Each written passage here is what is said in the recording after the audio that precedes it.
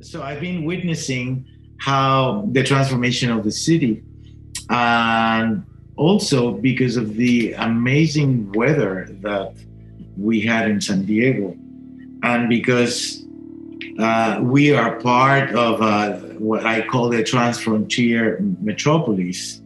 Uh, if you can see that, that from Ensenada, Mexico, Tijuana, San Diego, Los Angeles, all the way to San Francisco, there are almost 40 million people living with um, an amazing economy. And uh, California is still the, the, the center for design improvements. It is the Silicon Valley and all the industries around LA and San Diego, the aerospace and the innovation. So the, the growth will be uh, something that we need to get used to. Uh, we are expecting 1 million new people living here in the next 20, 30 years. We don't know exactly.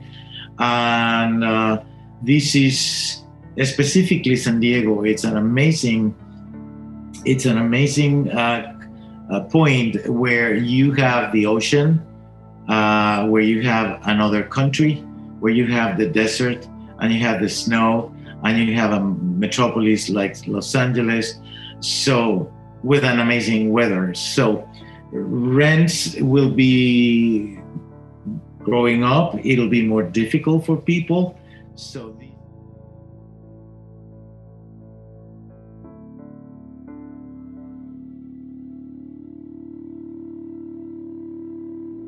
this became one of the best vacation cities in the United States.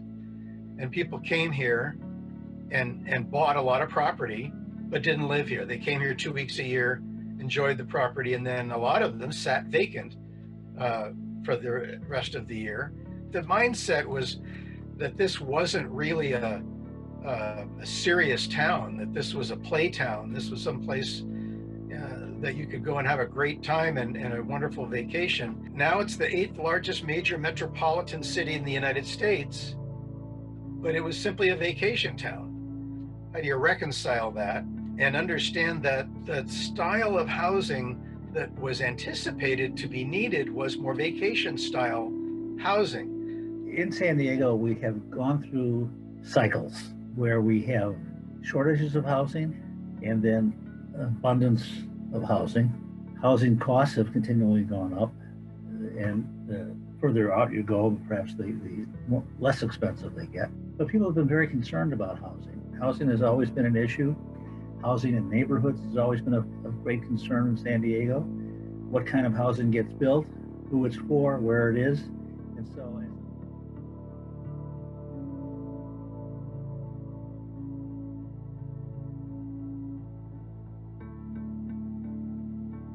we find that there's plenty of housing. There's plenty of single family housing units out there that San Diego has built over the last 50 years. And there's plenty of apartment buildings. They're very nice apartment buildings. And all of that is unavailable to a third of our population.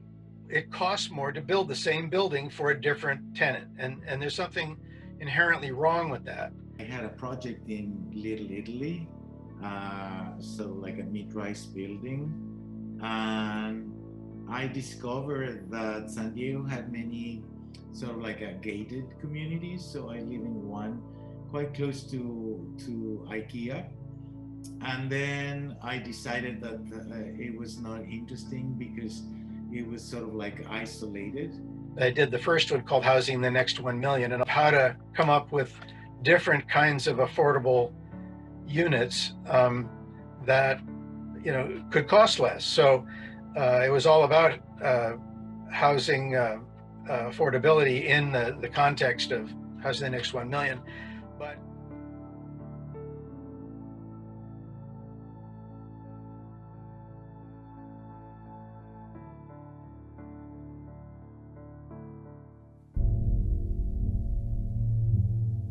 In the spirit of another million people coming to San Diego by 2050, half of those have been projected to be born here, and the other half are projected to come here because of, you know, that vacation mindset, that education reality, uh, coming to San Diego to be here from other states.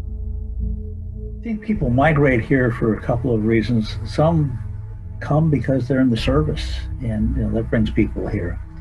Come because of jobs. The high tech industry um, leads all these people who come up with all these inventions or the medical uh, uh, research. So that brings a lot of people here, and then people come here for the weather. It's you know it's a nice place to live. You're in the process of adjusting something that was already predicted 20 years ago. How people see housing affordability, and um, you know, again, the American dream is really, uh, you know, the three bedroom, one and a half, two bath, uh, kind of either ranch ranch style or you know small colonial style or you know kind of a traditional style of house that they built in the 50, uh, 60s or 70s we we've been witnessing how corporate architecture is being invading uh, the city with these high rises. The buildings look exactly the same. They don't have any conscience to the environment. Are these black boxes with no features? And they are luxurious. They are asking for a lot of money for the monthly rent, but they are responding to uh, rampant capitalism. Many developers are building buildings because they can maximize the site and get, you know, X number of units out of that site. And many times they're just boxes with more boxes in them, and, and they don't really have a design characteristics that fit in the neighborhood that add value to the neighborhood. They're just something that looks like it's plopped on there. We need to be very careful with uh, people who are not as privileged. And this is where, in my professional practice and in my academic life, I am into social innovation. And that is what I uh, make a call to for social innovation. And they will have to be very creative in giving housing to people with different incomes, uh, housing for people with different uh, family structures. There's only one major Fortune 500 company in San Diego. And right now in San Diego, where what used to be 25 to 30% of your income being spent on housing is now 50 to 60% of your income being spent on housing. And, and I, as that gets worse, then homelessness picks up. In order to afford to live in San Diego, you're going to have to have a job that pays you that much. You know, where will they find those those marketplace jobs? And, and that really becomes one of the most critical issues in the housing conversation. We also need to get used to the new technologies because of that. Places to sleep might be smaller, but then we compensate with places for social activities. So there will be more communal kitchens, more communal working, more communal activities where people can engage with the use of technology. And I think that prefabrication will play an important role in the future and 3D fabrication. We need to, to start developing new approaches, new techniques, new products, new materials. We need other opportunities because it, it then housing becomes an asset and not a home. So I found that we need to look at when we think about housing the next 1 million, we got to look at all of these stratas. We do not need to build any more single family housing units. We no longer should be building one unit per lot. So It's going to take a few people who are out there and they're, what they do is, is proven to work well. And pretty soon you'll have everybody following their model. I guess it's the optimistic look that, you know, hopeful ever after. The architects and the designers really need to get more involved more broadly. You were part of the AIA issuing the agenda for the next mayor.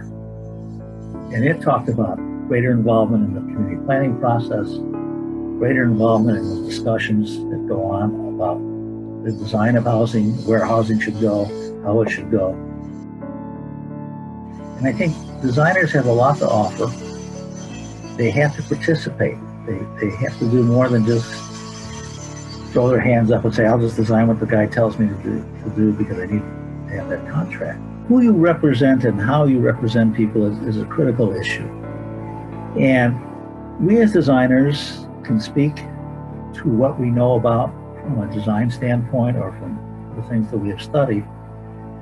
It's hard to say that we can speak for people who can't speak for themselves unless we really get involved and engage with those people that we become their trusted representatives or their trusted spokesmen. I believe that now it's your responsibility to grab and embrace the opportunities that you have